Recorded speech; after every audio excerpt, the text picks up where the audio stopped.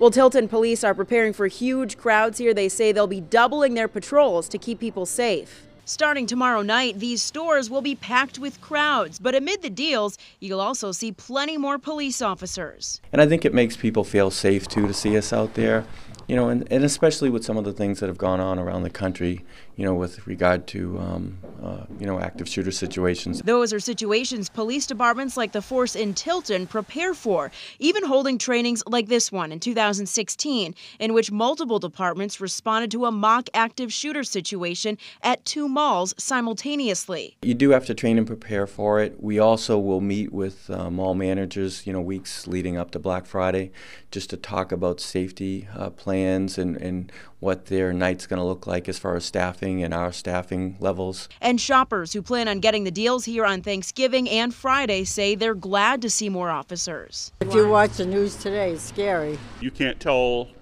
who's a uh, good guy from who's uh, somebody who's a uh, you know, got something else on their mind. That's why police are asking that if you see anything suspicious to notify them immediately. And if you see something that doesn't look right or if you see a package uh, that's abandoned, no one's paying any attention to it or, or anything at all that could look suspicious to give us a call. Err on the side of caution and, and call your local police department. Now, the chief says this is not to scare anyone or deter anyone from coming out Black Friday shopping. They simply want people to be aware of that police presence. We also reached out to Tanger Outlets. They say they do not discuss their security protocols. In Tilton, I'm Charisse LeClaire, WMUR News 9.